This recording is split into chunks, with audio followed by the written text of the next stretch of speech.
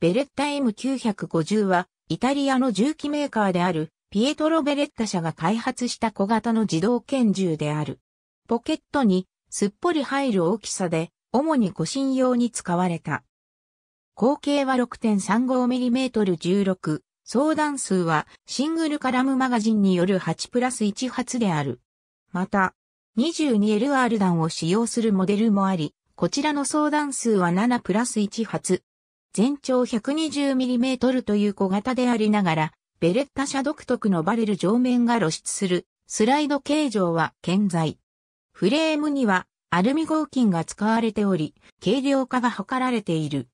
チップアップという特殊な形式を採用しており、スライドストップ付近のレバーを回転させると、重心ごとチャンバーが跳ね上がり、チャンバーの残弾を手で抜くことができる仕組みとなっている。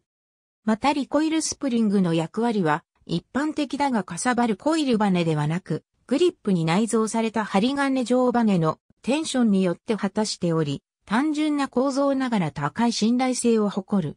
このリコイルスプリングはもともと2本で1本にまとめたマイナーチェンジ機種の B が存在する。トリガーガードは板バネを成形した単純な形状である。